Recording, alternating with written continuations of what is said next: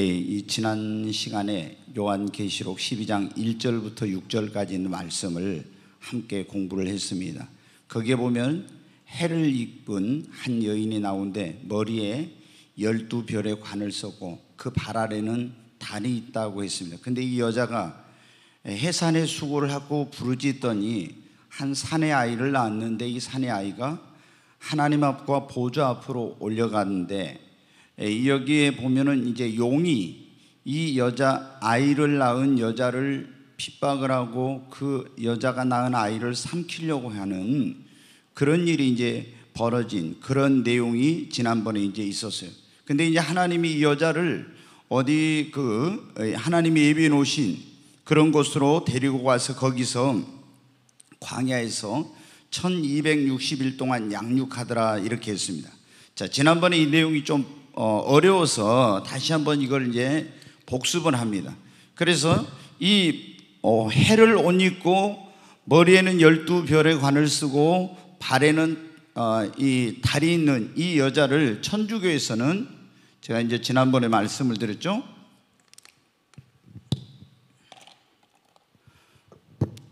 예, 천주교에서는 이 여자를 뭐라고 한다고요? 여자를 마리아라고 한다. 예, 예, 마리아라고 한다겠습니다. 근데 그 다음에 이 사내의 아이 남자는 뭐라고요? 예수님이다.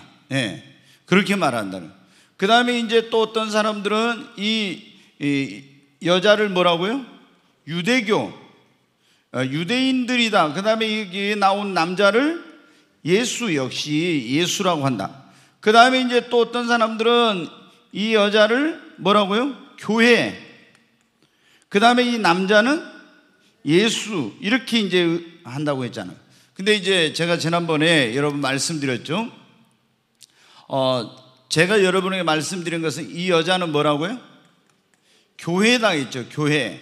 해를 입은 그것은 해는 예수님을 상징하고 하나님의 은혜를 상징하는데 교회는 예수 그리스도의 그리고 하나님의 은혜를 입은 거예요.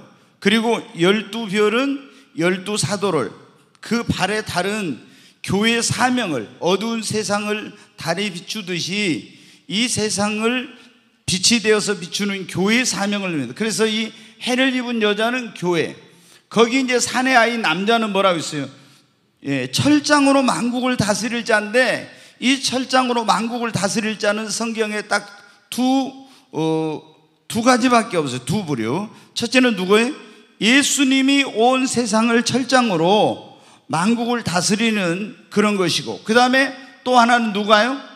이기는 자들이 계시록 2장 26절에 보면 이기는 자에게는 내가 철장으로 만국을 다스리는 권세를 주리니 그래서 이기는 자하고 이렇게 두 종류가 있는데 여기에 있는 여자, 여자가 이제 1260일 동안 광야로 가서 도망을 치잖아요. 그리고 하나님이 예비한 그런 초소에 있고, 어, 그 다음에 이제 이 아이가 하늘로 올라갔는데 이렇게 이제 이걸 보면은 우리가 뭘 알 수 있냐? 여기서 가장 중요한 것은 이 여자가 아이를 낳을 때 언제냐 하는 거라겠죠, 이게.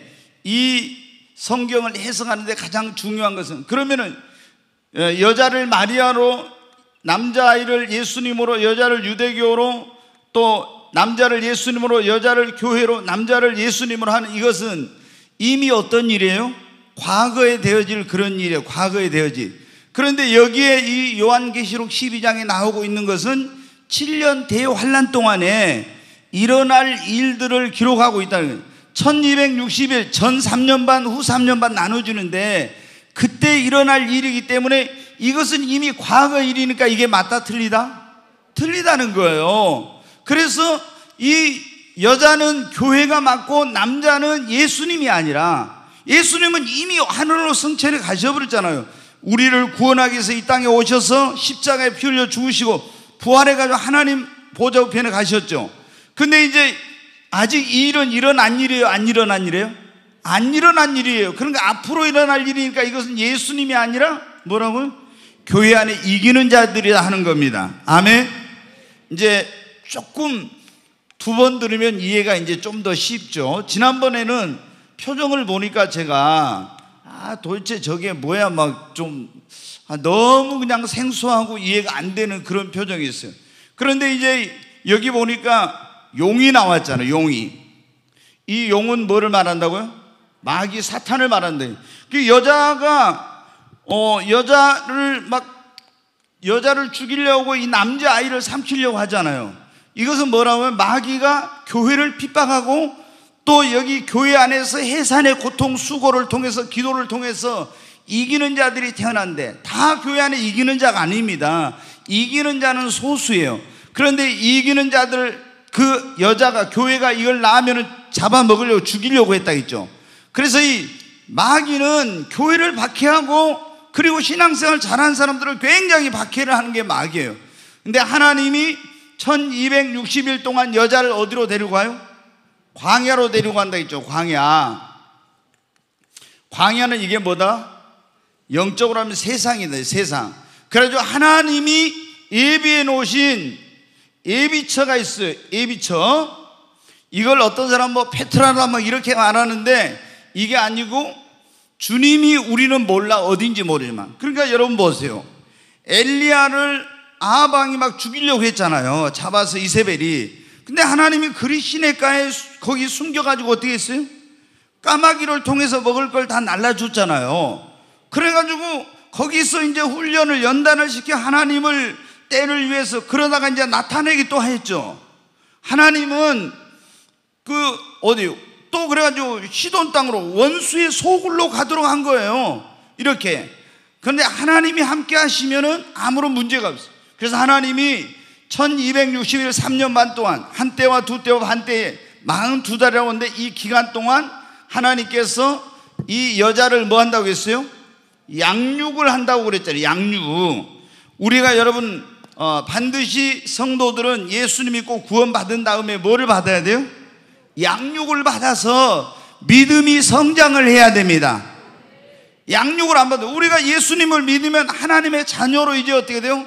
가 태어난 거예요. 그래서 성경에 보면 요한일서에 보면은 갓난아이가 있고 어린아이가 있고 청년이 있고 아비가 있어요. 그러잖아요. 성도의 단계가 여기 보면은 갓난아이.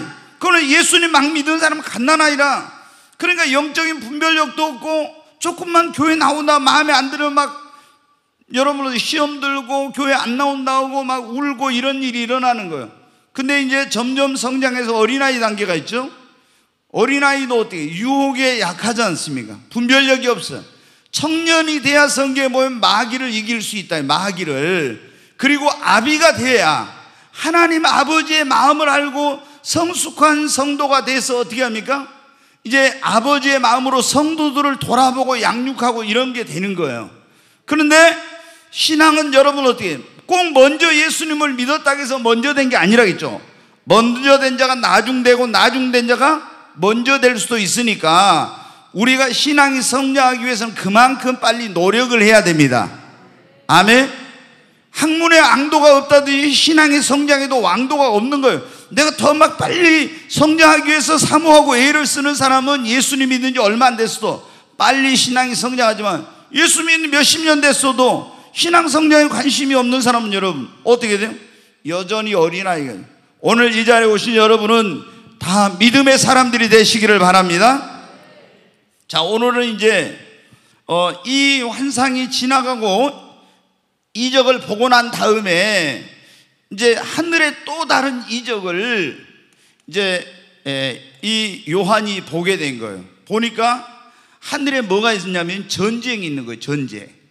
전쟁이 있는데 전쟁에 보니까 누구하고 누구 전쟁이에요?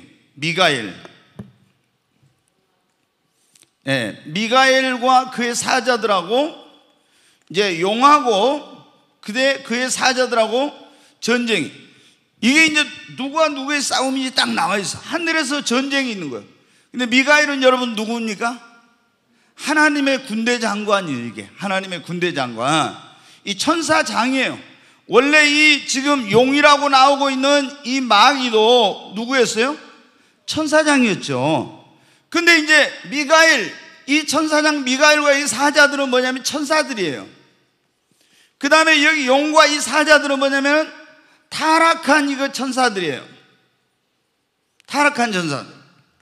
이게 뭐예요? 하늘에서 뭐가 있어요? 전쟁을 해. 막 어마어마한 전쟁이 벌어지는 거예요. 영계에서 엄청난 전쟁이. 그런데 이 전쟁에서 누가 이겼어요? 미가엘과 그 사자들이 이기고 용과 그 사자들이 패해가지고 어떻게 했어요? 하늘에서 어떻게 했어요? 쫓겨났다 이렇게 이제 나오죠. 쫓겨났어. 그래가지고 이제 이 쫓겨나가지고 어디로 갔습니까? 어, 이제 땅으로 이제 하늘에서 쫓겨났어요. 근데 이제 여기 보면은 어, 거기 7절 8절 한번 다시 한번 보겠습니다. 7절 8절 같이 한번 읽겠습니다. 하늘에 전쟁이 있으니 미가일과 그의 사자들이 용과 더불어 싸울세 용과 그의 사자들도 싸우나 여기 보면 이제 미가일은 뭐라고요? 하나님의 군대 장관 천사장이라겠죠. 그리고 그의 사자들도 천사들. 용은 바로 뭐예요? 원래 루시퍼인데 지금 마귀라고도 나오고 용이라고도 나오고 천사장 루시퍼인데 지금 용으로 나타나는 그래가지고 용과 그의 사자들 용을 따르는 마귀를 따르는 그 천사들을 말해요. 그들이 같이 싸우는 거예요. 근데 여기서 이기지 못하여 다시 하늘에서 그들이 있을 곳을 얻지 못하고 어떻게 쫓겨났죠? 예. 네. 여러분이 이제 이거 알아야 돼요. 원래 이, 이 용, 천사장이 이걸 루시퍼라고 했죠? 예. 네. 루시퍼는 뭐 하는 존재였어요?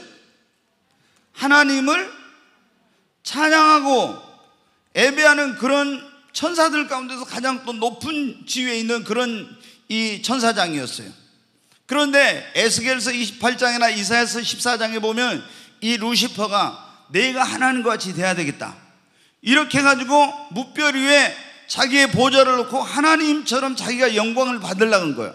그래서 하나님께 심판을 받아가지고 저 셋째 하늘에서 쫓겨났어요. 그래서 쫓겨나가지고 예, 셋째 하늘 여기에 이제 하나님의 보좌가 있는 곳이에요. 여기서 쫓겨나가지고 어디로 왔냐? 지금 대기권으로 왔어요. 보통 우리가 이걸 뭐라고 하냐면 하늘이라고요. 우리는 보통 여기를 하늘이라고 해요. 하늘로 왔어요. 그러니까 지금 여기서 미가엘과 그 사자, 용과 이 사자들이 전쟁한다는 것은 저 지금 공중에서 우리는 마귀를 그래서 뭐라고 하냐면 공중에 권세 잡은 자 그러죠? 공중의 권세를 잡은 자 이게 마귀가 지금 공중에 있는 거예요. 근데 거기서 미가엘과 이 마귀가 싸움을 해. 그 사자들하고 싸움을 해가지고 이 미가엘과 그 사자들에게 용이 패해가지고 어떻게 이제 어디로 내려오냐면 어디로요? 땅으로 지상으로 내려와요. 마지막 때.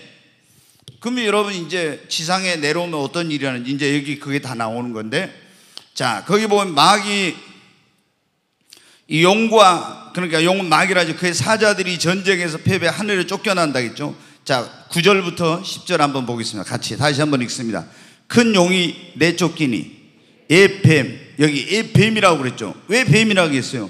에덴 동산에서는 마귀가 어떻게 나타났어요? 뱀으로 나타났죠. 그러니까 에뱀이라고 해요. 또 마귀라고도 하고 사탄이라고도 하며 온 천하를 꿰는 자라. 그가 땅으로 내쫓기니 그의 사자들도 그와 함께 내쫓기니라.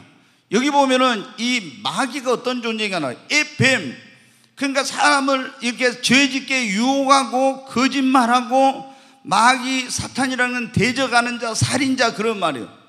예, 여기 천하를 꿰는 자라고 했잖아요. 굉장히 막 거짓말해서 천하를 막 거짓말로 속여. 거짓말이 아비라고 했잖아요 그 다음에 이게 뭐냐면 대적자라는 그런 살인자라는 그런 의미예요. 그래서 이 마귀란 놈은 죽이고 붉은 용이라는 게 피에 굶주린 그런 어, 큰 용이라는 것은 많은 사람을 죽인 이런 자라는 거예요. 그 다음에 참소하는 자 그렇게 나와요. 이제 한번 뒤에 또 10절 보겠습니다. 또 내가 또 들으니 하늘에 큰 음성이 있어 이르되 이제 우리 하나님의 구원과 능력과 나라와 또 그의 나라의 권 아, 그리스도의 나라의 권세가 나타났으니 우리 형제들을 참소하던 자, 우리 하나님 앞에 밤낮 참소하던 자가 쫓겨나고 그랬죠. 이 마귀가 하는 짓이 뭐라고요? 밤낮 믿는 자들을 하나님 앞에 참소해. 여러분 아시죠? 어, 욥기에 보면은 욥을 하나님 앞에 가서 마귀가 어떻게 했어요? 참소했어요. 하나님, 이제 하나님이 이게 쭉 마귀가 세상을 돌아다니다 하나님의 보좌 앞에 왔어요. 네가 어디 갔다 왔냐? 제가 세상 여기저기 보고 왔습니다. 내종 욥을 네가 유야에 보았느냐? 예, 봤습니다. 하나님이 욥을 칭찬해. 그와 같이 하나님을 경외하는 자가 없느니라. 그러니까 이 마귀가 뭐라 합니까? 그놈이 하나님이 복을 주시니까 그러지. 복을 안 주고 힘든 일 주면 분명히 하나님을 욕하고 배반할 겁니다. 그래요. 그래서 하나님이 뭐라고 합니까? 그럼 네가 한번 해봐라. 그래가지고 욥을 참소했습니다. 그러니까 이 마귀란 놈은 순 이런 짓을 해. 그래서 이제 하나님이 해보라 했더니 막 욥의 집에 이제 엄청난 재난을 가져다 주는 이런 못된 짓을 했죠. 마귀란 놈 꼭 이런 짓. 그러니까 이게 뭐냐면은 지금 마귀는 하나님 앞에서 계속 우리가 뭐 이렇게 우리를 참수하고 있는 거예요. 계속 참수한. 근데 전쟁에서 패해가지고 어떻게 돼요? 이제 쫓겨나게 됐다. 그러니까 이 마귀의 특성이 나오지. 에뱀, 용이라고도 하고, 마귀라고도 하고, 사탄이라고도 하고, 그리고 또 꿰는 자라고, 참수하는 자로 이렇게 나오잖아요. 이 마귀는 뭐예요? 순 이런, 어, 이 못된 짓을 하는 이런 자예요. 그러니까 이 천사장 루시파가 타락해 가지고 하나님을 반역하고 나서 순 지금 이런 하나님을 대적하고 사람을 죽이고 죄짓게 하고 탄압시키고 멸망 길로 가게 하고 이런 짓만 지금 앞장서한 게이 마귀란 놈이에요. 근데 마귀란 놈이 현재 어디 있다고요? 하늘에 있다. 이 대기권에 있는데 마지막 때 어떻게 했냐? 하늘에 전쟁이 있어요. 미가엘과 그 사자와 용과 그 사자들이 전쟁을 하는데 땅으로 패해가지고 내쫓기게 된다는 거예요. 자, 그러면은 이 마귀가, 어, 우리 이제 성도들을 막 이렇게 참소도 하고 성도들을 넘어지게 하고 성도들을 뭐 타락시키기도 하고 이렇게 하는데 이 마귀를 이기는 비결이 뭔지 거기 나와 있어요. 자, 11절 말씀 한번 보겠습니다. 11절 같이 읽습니다.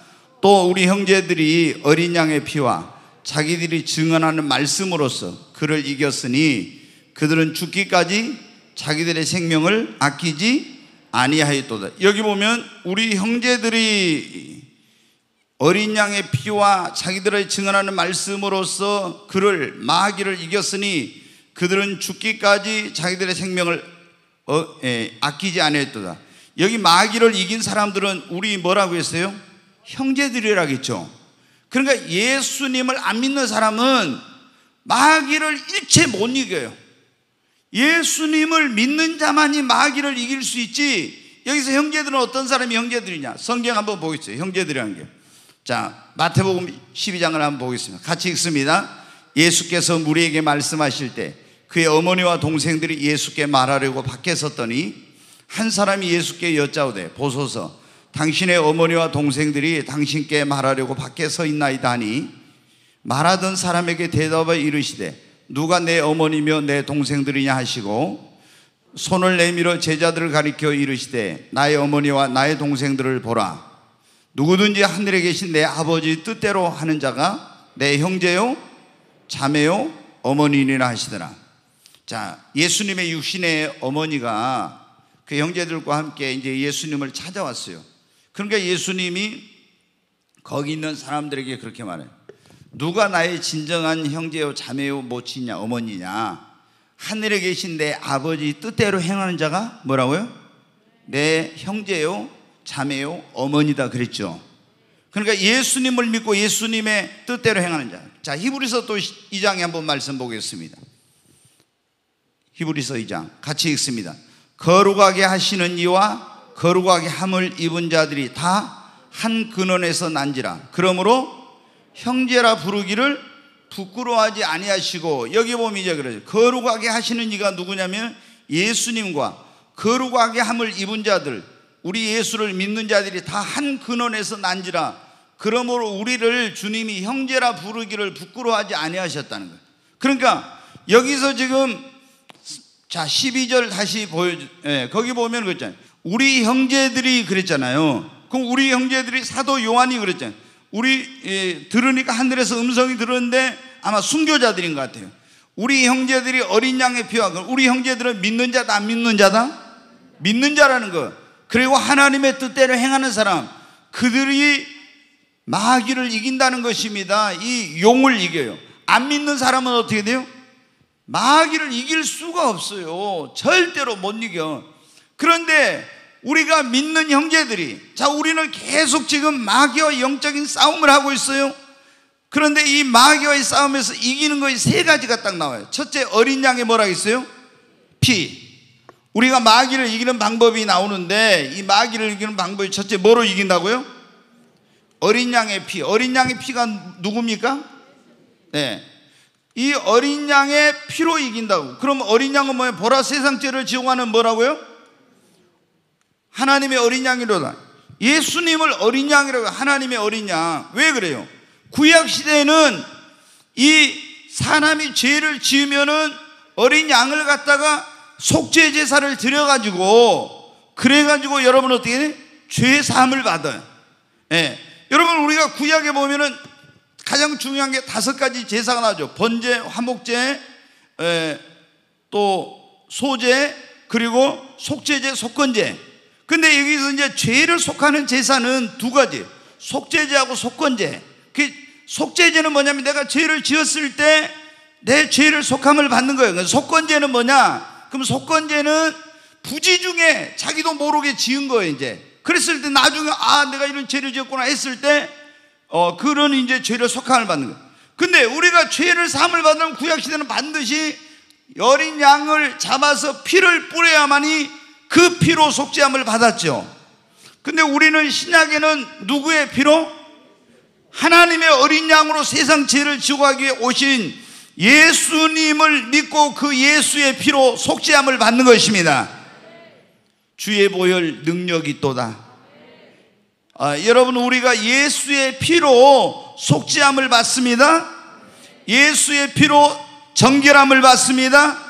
예수의 피에는 보호하는 능력이 있어요. 예수의 피로 마귀를 또한 영적 싸움에서 이기는 능력이 있습니다. 마귀가 어디 가냐? 막 우리를 참소해. 네가 이런 죄를 졌잖아. 네가 이런 죄를 졌잖아. 이런 마귀는 계속 내 양심을 내 마음 속으로 통해서 또 하나님 앞에도 막 이런 생각을 통해서 막 우리를 이렇게 참소하고 그러면 우리가 마귀가 네가 하나님 앞에 무슨 죄인인데 네가 천국을 가 막 이런 식으로 하면서 하면은 여러분 어때요? 우리 자신이 알잖아요. 내가 행동으로는 죄 안 지었을 때 마음으로 죄를 질 수도 생각으로 죄를 짓고 입으로 죄를 짓고 눈으로 죄를 짓고 그러면 그런 것 때문에 양심의 가책을 느껴서 구원의 감격과 기쁨을 누릴 수가 없는 거예요. 마귀가 막 이렇게 양심적인 사람들 더 그래요.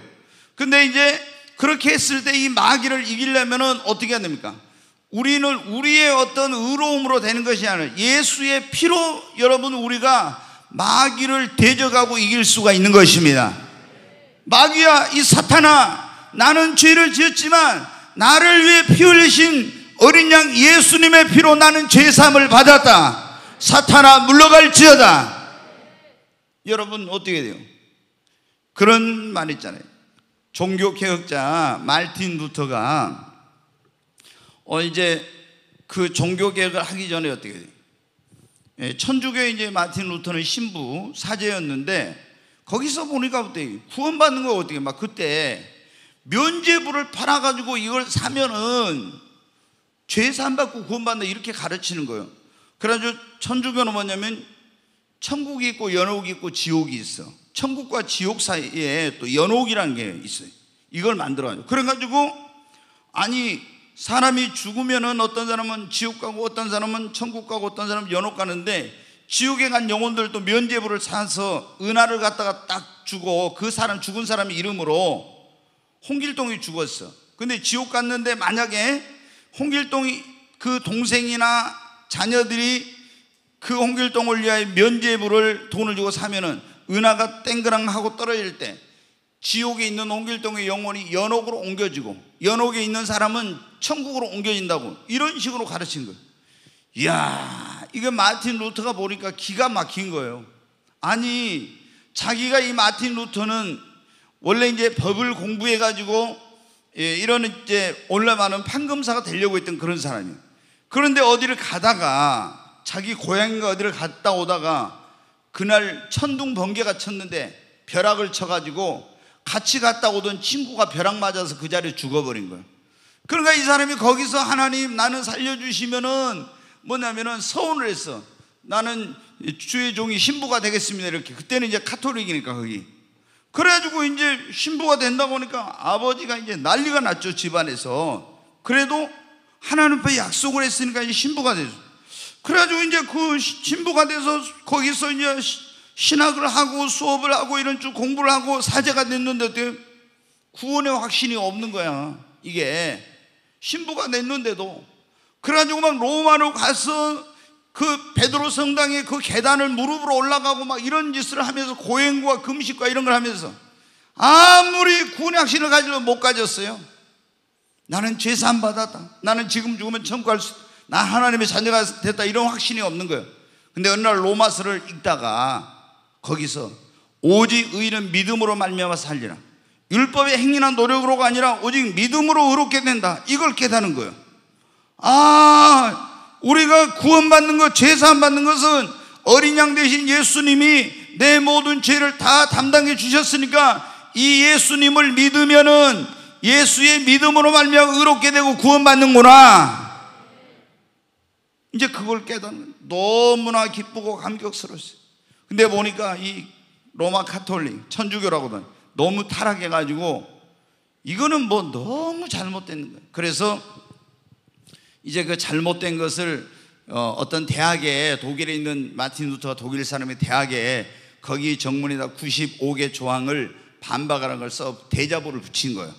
그래가지고 이제 이 교황청에서 마틴 루터를 죽이려고 해가지고 이제 종교 개혁 이런 운동이 일어나게 돼서 오늘날 거기서 개신교라는 게 나온 거예요. 지금 우리가 말하는 기독교 이 프로테스탄트라고 하잖아요. 프로테스탄트란 말은 반항자라는 그런 뜻인데 그래서 이제 개신교가 나와요. 천주교인들이 너희는 반항자야. 그래서 프로테스탄트라고 한 거예요. 근데 여러분 어떻게?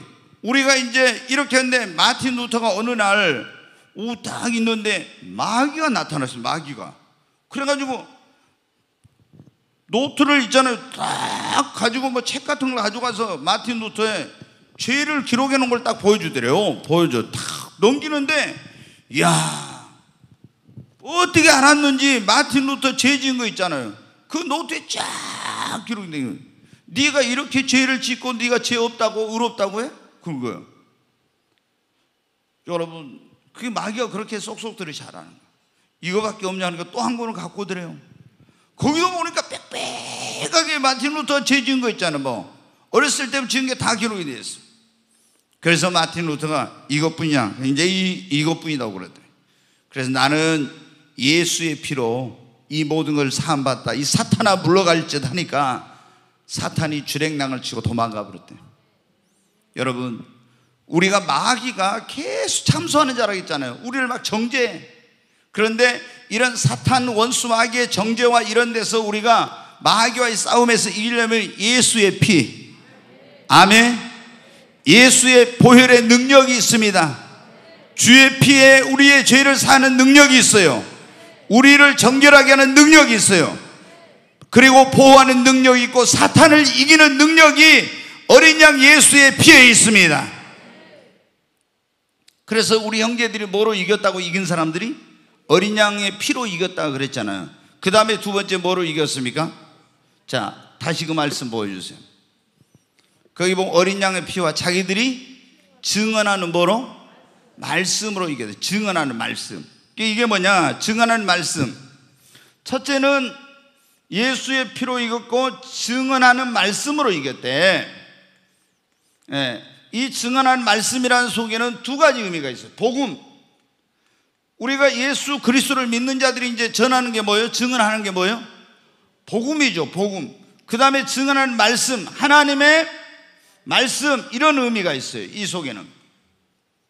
그러면 여러분 어떻게? 자, 마귀가 우리를 막 와서 이렇게 한데 우리가 마귀한테 이기려면 어떻게 복음을 확실히 깨닫고 복음을 확실히 깨닫고 구원의 확신이 있어야 됩니다. 아멘. 여러분 구원의 확신이 있어요? 구원의 확신이 없으면 마귀를 못 이겨. 나 지금 죽어도 천국 갈 수 있다. 이런 믿음이 있어야 마귀가 여러분 어떻게 우리를 여러 가지 방법으로 이제 뒤에 나오겠지만 어떤 데는 막 박해를 해가지고 우리를 막 이렇게 신앙생활 못하게 하려고 해. 어떤 때는 이제 산에 죽느냐 이런 문제 가지고 막 권력자를 이용해서 그러면 그때 우리가 구원의 확신이 복음을 깨닫고 구원의 확신이 있어야 이런 마귀를 싸워서 이길 수 있는 거지 구원의 확신이 없는 사람은 어떻게 돼요? 어, 나 예수 모른다고 예수 안 믿는다고 이러니 되는 거예요. 그러니까 여러분이 증언하는 말씀 확실히 복음을 깨닫고 구원받기를 바랍니다. 아멘. 아무리 교회 오랫동안 다녀도 구원의 확신이 없으면 이건 진짜 문제. 이렇게 제가 예배 때마다 구원받아야 된다고 구원의 확신이 이렇게 하는데 정말 이만큼 많이 한 교회는 거의 없어요, 진짜. 근데 이렇게 한데도 우리 교회도 어떤 사람 보면 그래도 구원받지 못한 사람들이 상당히 있는 것 같아요. 그럼 보면 어때요? 막 속이 터져. 오늘 이 자리에 오신 분, 여러분 지금 죽어도 천국 갈 수 있는 믿음이 있기를 바랍니다. 이런 게 있어야 마귀가 어떤 우리를 유혹하거나 시험하거나 박해나거나 이길 수 있는 것. 그리고 우리가 어떻게 이길 수 있냐? 하나님의 말씀으로 마귀를 이기는 겁니다.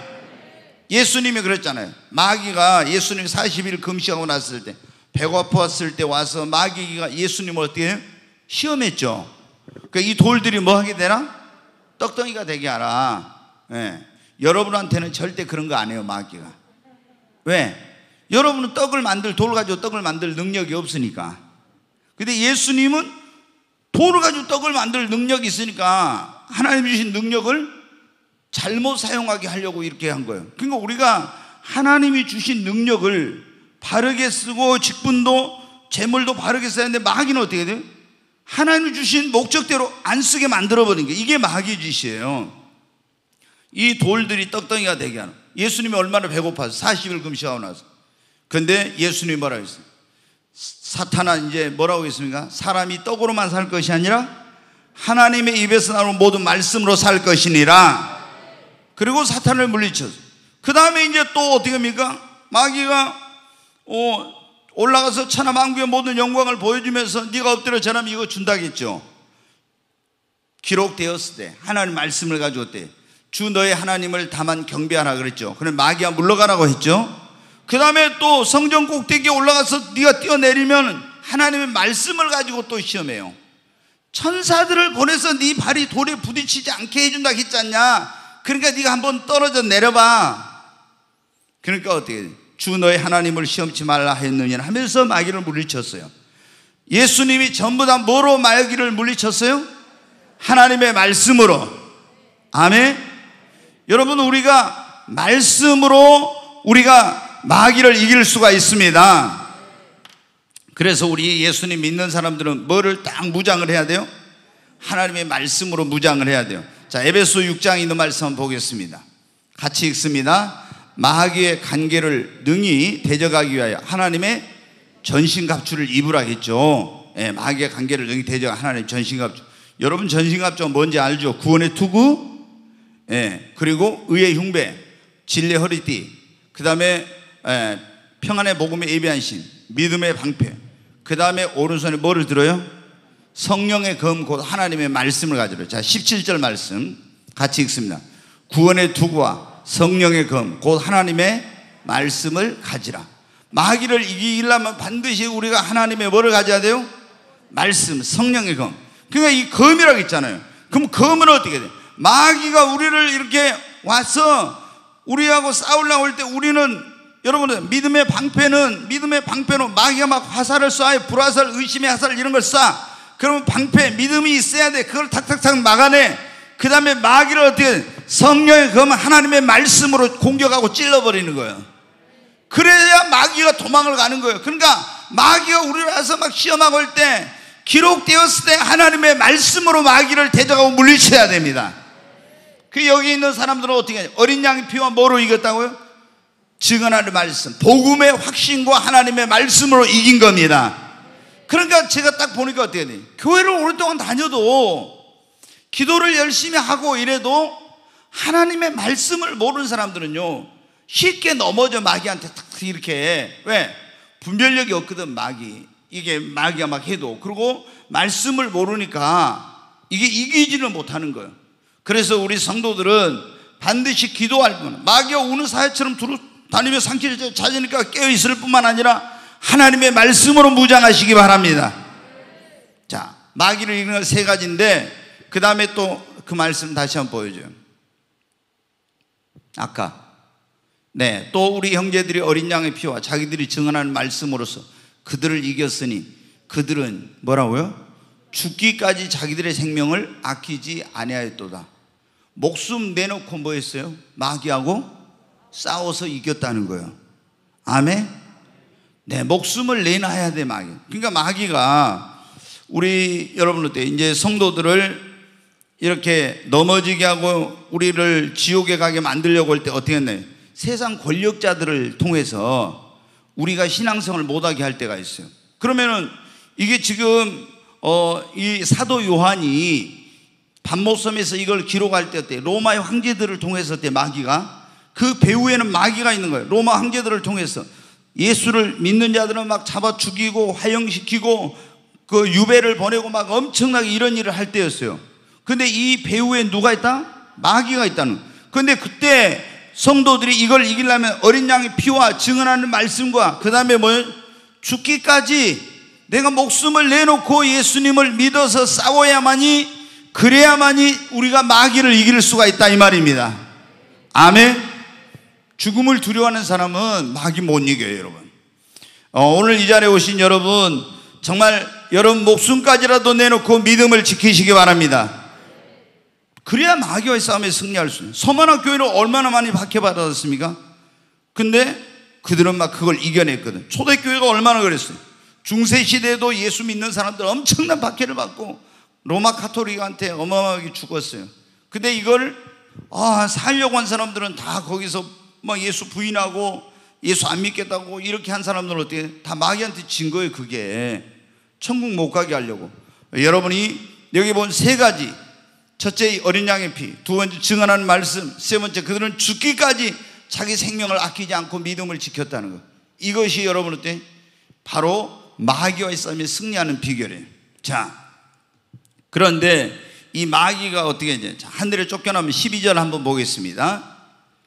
같이 읽습니다. 그러므로 하늘과 그 가운데 거하는 자들은 즐거워하라.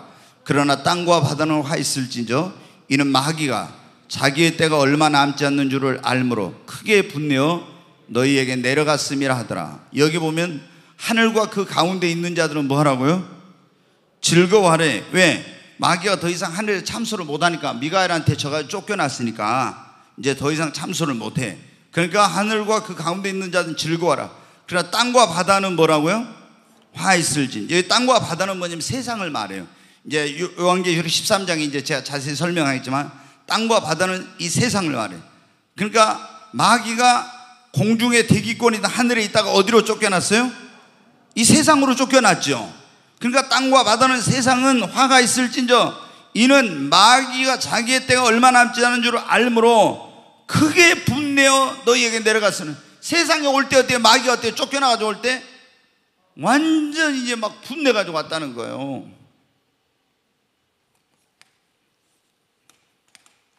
자, 미가엘과 그 사자와 용과 그 사자와 싸워서 전쟁을 해가지고 이 마귀가 지상으로 이제 내렸어요. 그러니까 여기에 세상이라고 있습니다.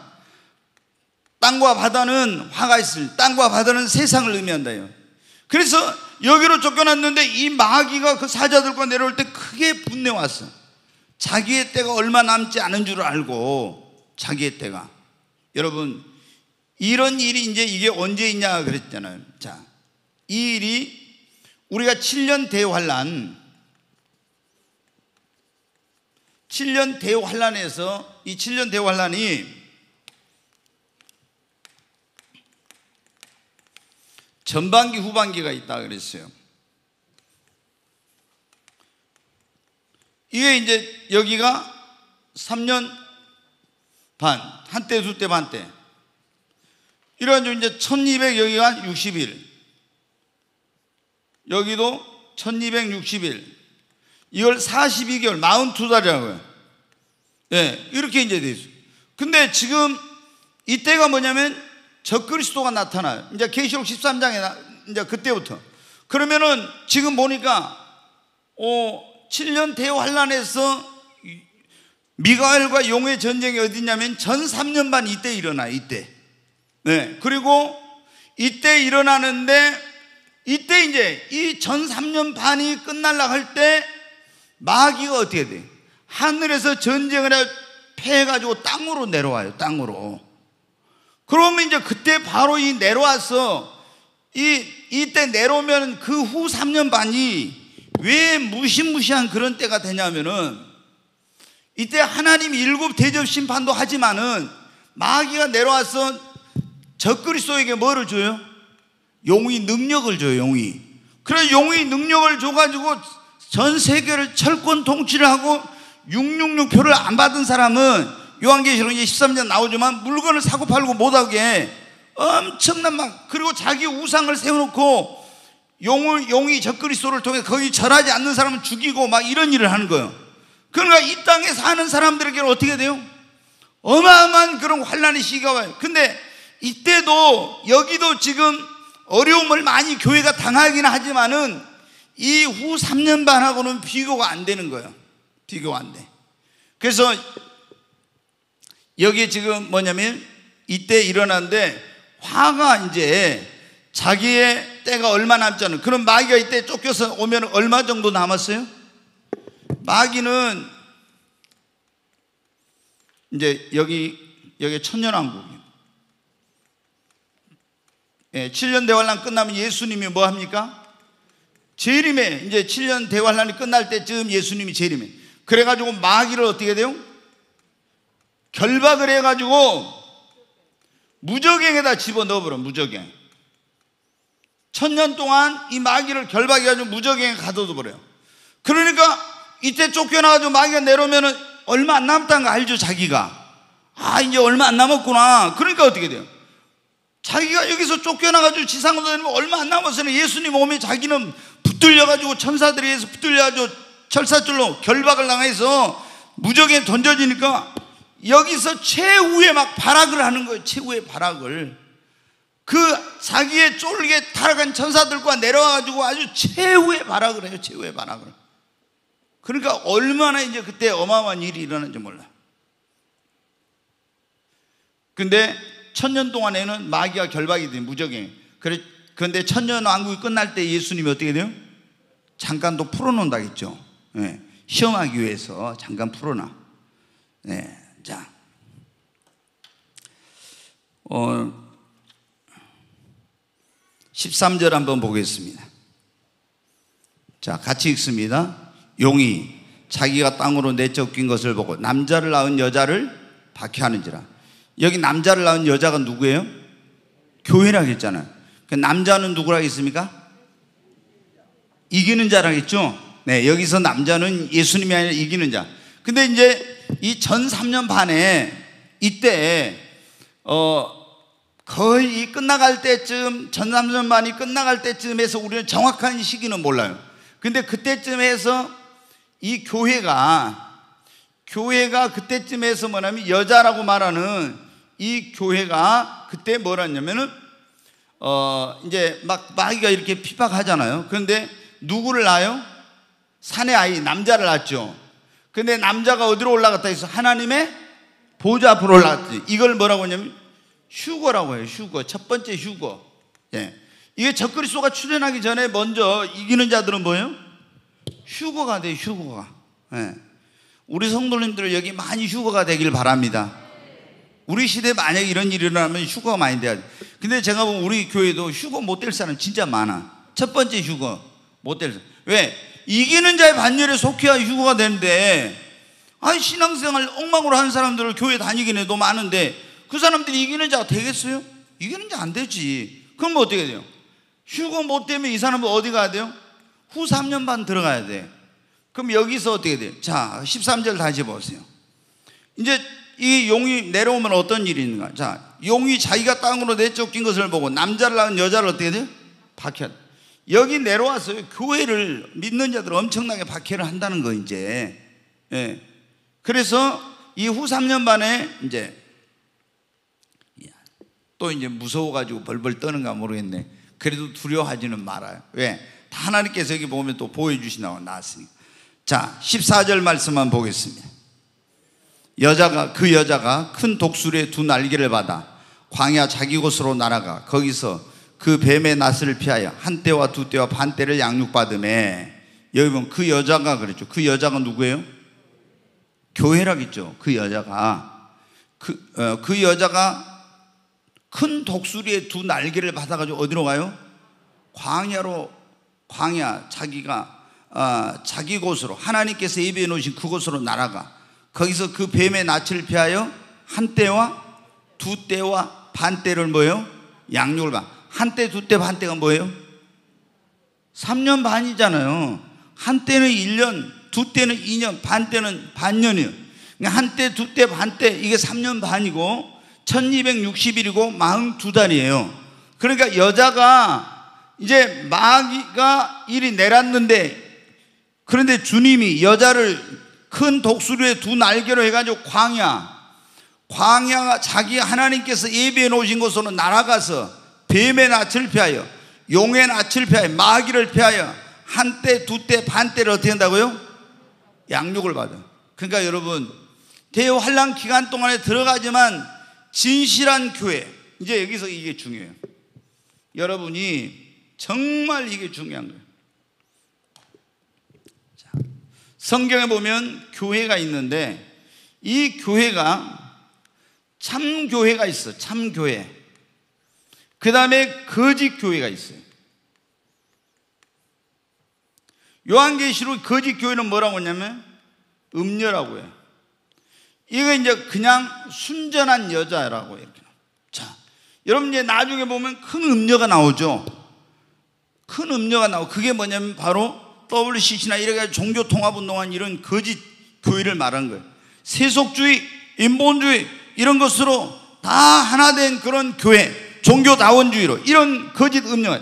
근데 이런 음녀는 음녀에 속한 자들은 하나님 보호해주지 않아. 참 교회, 여자는, 자, 다시 그 말씀 봐요. 여자는 독수리의 두 날개로 두 날개를 받아 광야 자기 곳으로 날 거기서 그 뱀의 낯을 피하여 사탄의 마귀를 피하여 한때, 두 때, 반 때를 3년 반 동안 뭐를 한다고요? 양육을 받는다 했잖아요. 그 우리가 천국에 들어가려면 반드시 우리가 알곡이 되고 익어야 된다 했죠. 그게 양육을 받아야 돼. 양육을. 예, 양육을. 나는 이제 청, 저기 천국은 안 가봤으니까 주님을 만나봤지만 근데 어떤 분들은 그러더라고. 주님 앞에 이렇게 천국에 간데 보니까 신앙이 성장하지 못한 사람들은 거기서 신앙이 어느 그 수준에 이를 때까지 연단을 받으면서 양육을 받는 그런 장소가 있더라고 그러더라고. 예, 그 천국에 여러 번 왔다 갔다 한 분이 그분은 이제 제가 들어보니까 그래요. 장. 그막뭐 엄청나게 연단을 하고 그래서 도대체 뭡니까 했더니 예수를 믿기 믿고 구원을 받았는데 이 성장이 안 된 거야. 그 천국에 들어갈 수 있는 뭐가 안 돼. 그래서 거기서 막 연단을 엄청 받더라고 이제 그러더라고. 근데 여기 보니까 교회 여자가 이 교회인데 교회가 한 때 두 때 반 때 3년 반 동안 뭐를 받는다? 양육을 받는다 그랬잖아요. 어디로 가서요? 예? 예, 광야. 광야는 제가 영적으로 말하면 지난번에 뭐라 했어요? 세상이다, 이 세상. 그러니까 주님이 3년 후 3년 반 동안 큰 이 환란의 때 진짜 참 교회에 속한 자들은 세상 어딘가에 하나님이 예비해 놓은 곳에서 하나님의 권능과 능력으로 어떻게 한다? 보호해 주시고 거기서 믿음의 훈련과 연단을 받으면서 믿음을 양육을 시키는 거예요. 그러니까 이때 왜 양육을 받냐? 자 보세요. 육령이 표안 받으면 어떻게 돼요? 물건을 사고 팔고 못 하죠. 그럼 하나님을 의지해야 돼 매일 매일 의지하고 먹고 사는 거 그러면서 우리 믿음이 어떻게 돼요? 양육되는 거 양육되는 거. 이스라엘 백성들 여러분 보세요. 광야에서 애굽에서 구원받은 이스라엘 백성들을 구해가지고 나와가지고 적과 꿀은 가나안 땅으로 가기 전에 광야에서 뭐를 받았어요? 양, 양육을 받았어요. 연단과 훈련을 받는 양육을 받았어요. 왜? 그래야죠 하나님이 적과 꿀은 가나안 땅 데리고 가려고. 근데 여러분 이스라엘 백성들을 하나님께서 인도했는 어떻게 인도했는가 봐요. 출애굽기 19장 4절 말씀 같이 읽습니다. 내가 애굽 사람에게 이렇게 어떻게 행하였음과 내가 어떻게 독수리 날개로 너희를 업어 내게로 인도하였음을 너희가 보았느냐. 여기 보니까 뭐라고 있어요? 하나님이 이스라엘 백성들의 애굽에서 그들을 구원하기 위해서 행하신 일을 어떻게 행하였음을 너희가 보았고 내가 어떻게 독수리 날개로 너희를 업어서 내게로 인도하였음을 이스라엘 백성들이 나올 때 장정만 해서 60만이고 여자까지 하면 한 200만, 300만 되는데 하나님께서 독수리 날개로 너희를 업어서 인도했다고 했잖아요. 여러분 하나님이 독수리 날 독수리 보내갖고 업어서 인도했습니까? 예? 아니 여기 그랬잖아요. 독수리 날개로 너희를 내가 업어서 인도했다고 그랬잖아요. 이게 독수리 날개로 인도했다는 게 뭐냐면은 업어서 인도했다는 하나님의 권능과 능력으로 보호하여 인도했다는 거예요. 자, 신명기에 또 나와요. 그 말씀. 신명기 32장. 같이 읽습니다. 여호와께서 그를 황무지에서 짐승이 부르는 광야에서 만나시고 호위하시며 보호하시며 자기의 눈동자 같이 지키셨도다. 마치 독수리가 자기의 보금자리를 어지럽게 하며 자기의 새끼 위에 너불거리며 그의 날개를 펴서 새끼를 받으며 그의 날개 위에 그것을 엎는 것 같이 여호와께서 홀로 그를 인도하셨고 그와 함께한 다른 신이 없었도다. 독수리 같이 보호하시고 그들을 또 인도하시고 이랬다겠죠.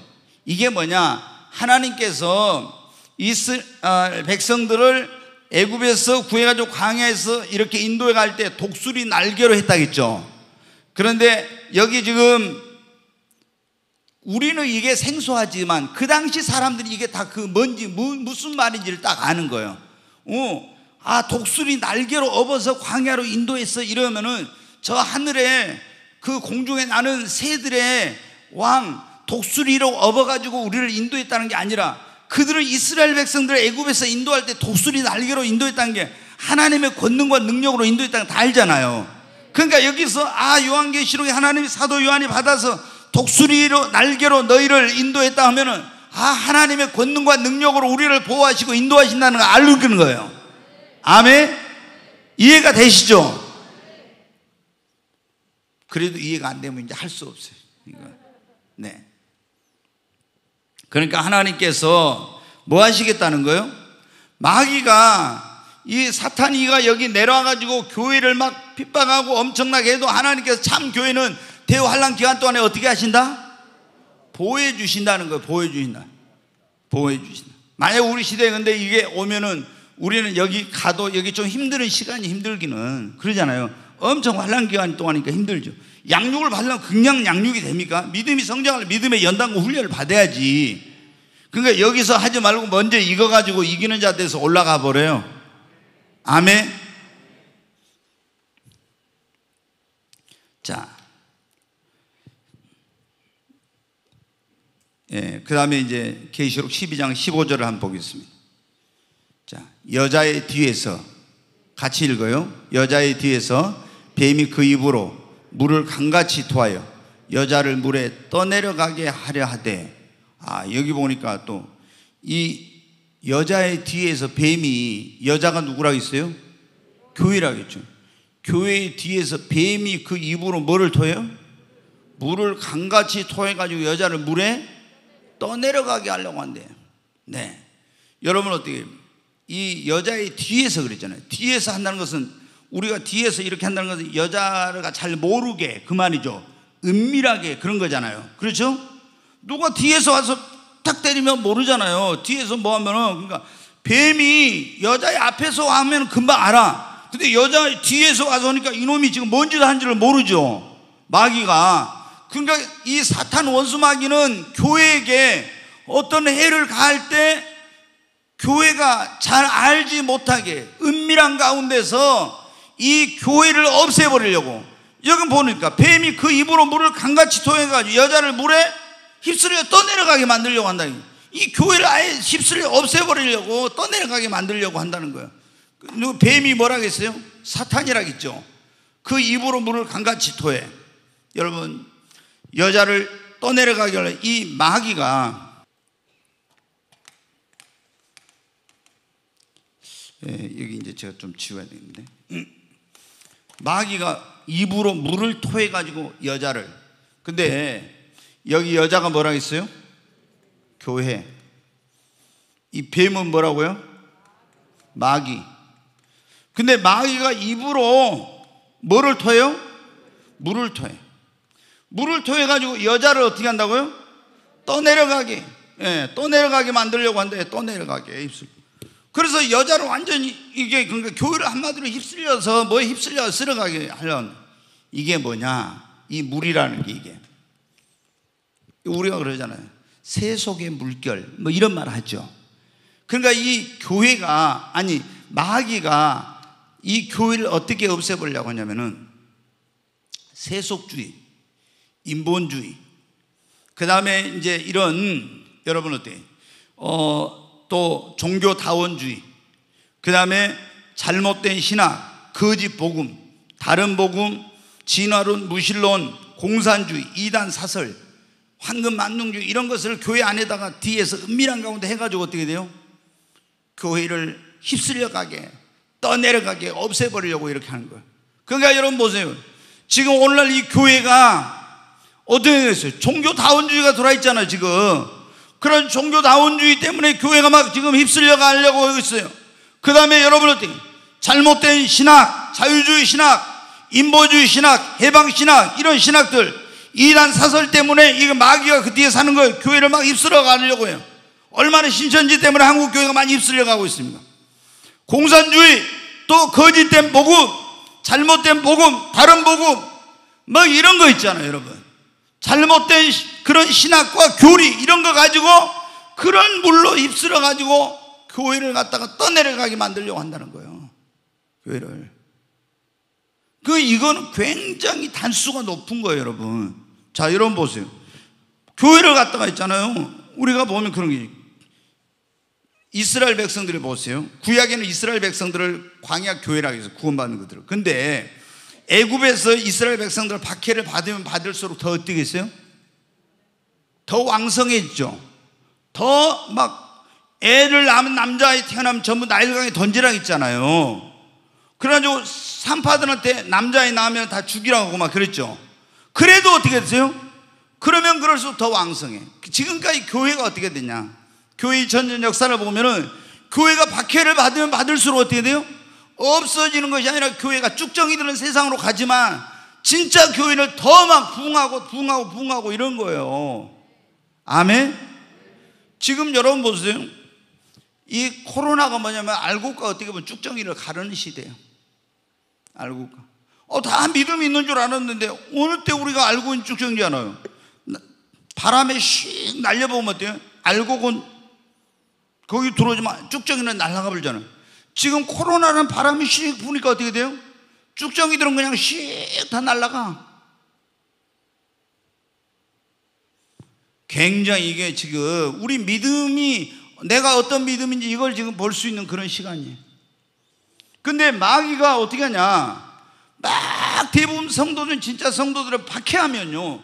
막 더 하나님 의지하고 막 기르게 하고 이겨. 근데 세속주의, 인본주의 이런 것은 있잖아요.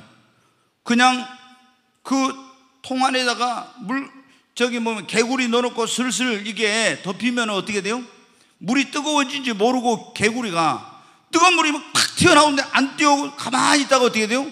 거기서 삶아져 죽는 것처럼 아이 교회가 어떻게 하면 세속주의, 인본주의 이런 것을 어떻게 한다고 뱀이 뒤에서 그러지 뒤에서 은밀하게 교회가 잘 알아차리지 못하게 그래가지고 계속 이 세속주의, 인본주의, 그 다음에 이런 해방신학, 자유주의 신학, 그 다음에 다른 복음, 거짓 복음, 진화론, 이런 거 있잖아요. 이런 것을 계속 교회 안에 집어넣어. 그래가지고 어떻게 교회를 싹 휩쓸려 가게 하려고. 이게 마귀가 이런 짓을 하는 거예요. 근데 마지막 때 이게 어마어마하게 한다는 거예요. 어마어마하게. 이 마귀가 내려오게 되면은 지금하고는 비교도 안 돼요. 그러니까 그때 어떻게 돼요? 주의 종들 가운데서 이 마귀 꼬임에 넘어가 타락한 종들이 많아가지고 거짓 선지자들 많아서 막 육육을 펴 받아도 상관없어 막 어쩌고저쩌고 이런 것들이 많이 나와요. 벌써도 여러분 어때요? 지금도 그런 것들이 많아. 그것들은 진짜 종들이 아니야. 예, 여러분 어때요? 우리가 이게 지금 보면은 막 그 유튜브에 요즘 뭐 이 코로나가 제2의 종교 개혁이다. 하나님이 대포를 쏴버렸다.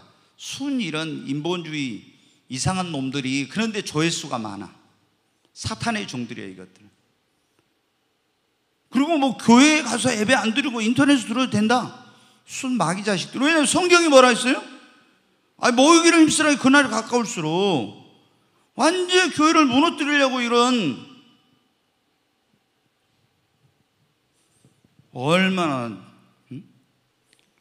근데 여러분 어떻게 이제 마지막 때가 되면은 이런 거짓 선지자들이 많이 나와서 하나님의 종들을 미워간다 하나님의 사람들을 미워간다 했잖아요 그러니까 여러분 우리가 정신 바짝 차려야 됩니다 아멘 여러분 어떻게 계시록 1장 3절에 그런가 하면 이 애언의 말씀을 듣는 자들과 읽는 자들과 그 가운데 기록한 걸 지키는 자들이 복이 있다 있죠 때가 뭐라? 가까움이라 이 예언의 말씀 읽는 자가 듣는 자가 복이 있어. 오늘 여러분 복 있는 사람입니다. 굉장히 이게 중요한 거예요. 어, 여러분은 어떻게 이게 이제 그냥 아 다른 때 이게 수요일 날 와서 듣는 설교는 여러분 다른 때 한번 쓱 주일날 낮에 듣고 지나가는 거하고 틀려 이게 너무 중요한 거예요. 너무 중요한 거. 그래서 이 말씀을 계속 여러분 유튜브 꿈의 교회 쳐가지고 거기서 수요일 날 특히 주일날 저녁 수요일 날 이거는 계속 여러분이 어떻게 반복해서 좀 들어야 돼요. 왜 한 번 들어갖고 잘 안 되니까. 자, 그 다음에 이제 예, 이렇게 이제 마귀가 그 한다는 거예요. 근데 우리가 여러분 어때? 이제 16절 말씀 한번 보겠어요. 같이 읽습니다. 땅이 여자를 도와 그 입을 벌려 용의 입에서 토한 강물을 삼키니 그 여자를 어, 여자가 교회라고 했잖아요. 근데 뱀이 물을 토해 가지고 여자를 또 내려가려고 했는데 땅이 여자를 도와가지고 교회를 도와가지고 뭐를 해요? 입을 벌려서 용의 입에서 토한 강물을 삼켜버려요. 그러니까 어떻게 해요? 여자가 또 내려가요? 안 내려가요? 하나님께서 마귀가 교회를 없애려고 핍박하고 죽이고 이런 세상의 잘못된 신학과 교리와 이런 주의를 가지고 막 휩쓸려 가게 하려고 하지만 하나님이 도와서 교회를 어떻게 한다? 지켜주시고 보존한다는 것입니다. 근데 땅이 여자를 도와 그 입을 벌 용의 입에서 토한 강물을 삼키니 여자가 이렇게 할 때 떠내려가지 않으려면 어떻게 돼? 떠내려가지 않으려면 이게 이제 굉장히 중요해요. 우리가 우리 교회가 이런 거 할 때 막 지금 교회가 세속화되고 있잖아요. 세속화된 가운데 우리 교회가 떠내려가지 않고 인본주의, 다원주의 막 이런 게 교회에 지금 서울의 대형 교회들 가운데 그런 교회들 얼마나 많은지 몰라. 막 몇만 명 모인 이런 교회들 가운데. 근데 이런 데 우리가 휩쓸려 가지고 마귀가 다 그 뒤에서 지금 하고 있는 거예요. 떠내려가지 않으려면 어떻게 하냐. 자, 마태복음 있는 말씀 한번 보겠습니다. 같이 읽습니다.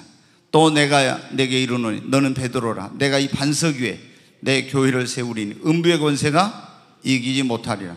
여러분 교회는 반석 위에 세워지면 그 교회를 음부의 권세가 이긴다 못 이긴다? 못 이겨요. 그러면 교회가 반석 위에 세워져야 돼. 예, 반석 위에 세운 교회가 돼야 돼. 근데 이 성경에 보면 반석이 뭐냐? 뭐예요? 예수 그리스도가 반석이요. 그러면 교회가 예수 그리스도 위에 바르게 세워지면 그 교회는 마귀가 아무리 떠내려가게 하려고 해도 떠내려간다 안 간다? 안 간다는 거예요. 그 다음에 또 하나. 자, 같이 읽습니다. 그러므로 누구든지 나의 말을 듣고 행하는 자는 그 집을 반석 위에 지은 지혜로운 사람 같으리니 같이 또 읽어요. 비가 내리고 장수가 나고 바람이 불어 그 집에 부딪히되 무너지지 아니하는 이는 주초를 반석에 놓은 까닭이요. 자, 다시 앞절에 24절 보세요. 예. 그러므로 누구든지 나의 이 말을 듣고 예수님을 그래 행하는 자는 그 집을 반석 위에 지은 지혜로운 사람 같으니. 자, 이건 뭐냐? 말씀 위에 세워진 교회, 말씀대로 세워진 교회는 반석 위에 지어진 집하고 똑같다 했죠. 그러니까 이 마귀가 여러분 어떻게 교회를 막 이런 세속주의, 인본주의, 잘못된 신학, 교리, 이런 진화론 이런 거 가지고 우리를 휩쓸려 가게 하려고 할 때 다원주의나 이런 거 가지고 거기에 쓰러지지 않으려면 오직 교회가 어디 위에? 예수 그리스도 위에 그리고 그분의 말씀대로 교회가 되어지면은 절대로 여러분 그 교회는 휩쓸려 가지 않습니다. 근데 교회가 말씀대로 안 하면 어때다 이제 나중에 이제 여러분 있잖아요. 다 교회가 무너져. 다 무너져. 마지막 때. 인본주의 이런 걸 하면은. 자, 이제 한 구절만 보고 얼른 마치겠어요. 시간이 없어. 자, 계시록 12장 17절. 용이 여자에게 분노하여 돌아가서 그 여자의 남은 자손 곧 하나님의 계명을 지키며 예수의 증거를 가진 자들과 더불어 싸우려고 바다 모래 위에 서 있더라. 네. 조금 전에 이제 보니까 그랬죠. 여자가 물을 토해 가지고 아니 뱀이 물을 토해서 여자를 떠내려가게 하려고 땅 입을 벌려 가지고 여자를 도와서 떠내려가지 않아. 그러니까 어 이거 도저히 안 되니까 이 뱀이 어떻게 돼요? 용이라고 이제 또 나오죠. 용이 이제 무서운 존재로 나타나는 다시. 그때 뱀으로 할 때는 강교한 존재로 나타나는데 여기서 이제 용으로 나타나죠. 용이 용이 여자에게 마귀가 여자에게 교회의 분노에 돌아가서 그 여자 교회의 남은 자손 곧 하나님의 계명을 지키며 예수의 증거를 가진 자들과 더불어 싸우려고 바다 모래 위에 서 있더라. 이게 뭐냐? 이제 여자를 예수 하나님께서 어떻게 했나요? 독수리 날개로 해가지고 하나님의 권능과 능력으로 광야로 세상의 어떤 곳에다 보호한다겠죠. 예, 그런데 이 여자를 떠내려가려면 안 되니까 여, 이 용이 화가 나가지고 여자의 남은 자손이라고 했죠. 남은 자손, 곧 하나님의 계명을 지키며 예수의 증거를 가진 자들과 더불려고 더불어 싸우려고 바다 모래 위에서 했다. 바다 모래 위에는 이 세상을 말하고 이 세상에서 모래같이 인생들 그 위에 이제 서서 마귀가 그런 일. 여기 어떤 사람, 여자의 남은 자손, 교회의 남은 자손, 곧 하나님의 계명을 지키고 예수의 증거를 가진 자들하고 싸우려고 한다는 거예요. 그 여기 보면 여러분 어때요?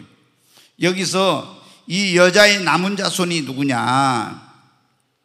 하나님의 계명을 지키며 예수의 증거를 가진 자들이라 했는데 이, 이 여기에 나오는 하나님의 계명을 지키고 예수의 증거를 가진 자들 이 여자의 자손은 누구냐면 하나님이 교회를 예비해 놓은 것으로 인도하셔서 보호하시고 양육하실 때 그들과 함께 가지 아니하고 그 대환란 기간 동안에 세상에 남아서 주의 복음을 전하고 주의 복음을 전하고 그 사역을 감당하는 것은 여기 보는 하나님의 계명과 예수의 증거를 가진 복음을 전하는 이런 일을 그러니까 여자가 하나님이 예비해 놓은 곳으로 간데 다 가는 게 아니라 어떤 사람들은 남아요.